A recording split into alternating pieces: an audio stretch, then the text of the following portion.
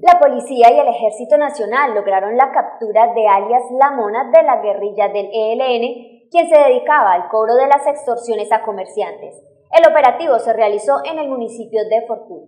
En una operación en conjunto entre el Ejército y la Policía Nacional, lograron la captura de alias La Mona, integrante de la guerrilla del ELN. El operativo se realizó en el municipio de Fortuna, en el departamento de Arauca. Policía Nacional, en coordinación con el Ejército Nacional, en, una, en, una, en un trabajo realizado en la población de Fortul, se logra con la captura de alias La Mona.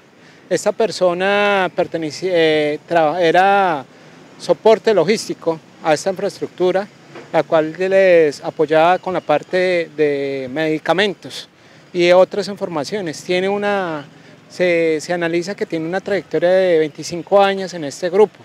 Ella en ese momento fue capturada por, en una operación conjunta en Fortul, en un trabajo relacionado con un trabajo de inteligencia fuerte que se está desarrollando allí en la población de Fortuna. El comandante encargado del Departamento de Policía de Arauca, coronel Frey Pérez, aseguró que alias La Mona pertenece a la guerrilla del ELN. Ella está relacionada con, el, con la comisión Capitán Pomarés del ELN directamente. Sin embargo, hay que mencionar, eh, ella es apoyo directamente a esta infraestructura. Estaba, en el momento de su captura, estaba solicitada por un juez directamente, tenía orden de captura vigente y transitaba, es importante, transitaba en, eh, en el, en el, casco urbano de Fortul. Esta es una operación y una intervención que estamos desarrollando con frente a, a, los, a, los, a, los, pactados en consejos ministeriales.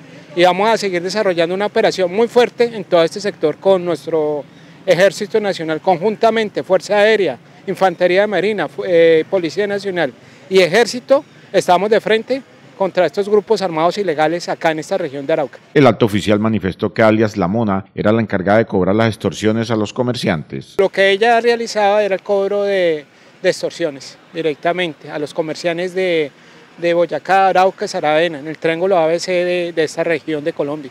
Era pues aporte, soporte, soporte económico y en este momento pues ya lleva un proceso abierto adelante. Ya lleva un tiempo, la orden de captura estaba vigente, se puso a disposición de juez de garantías, el cual pues legalizó su captura en este momento, está, a disposición de, la, de, justicia, de la justicia. Las autoridades investigan si alias La Mona tuvo que ver con el atentado contra un soldado en el parque en el municipio de Fortul. Es importante mencionar que en este momento está en materia de, de investigación, son las primeras, las primeras, eh, la primera que, las primeras informaciones que tenemos.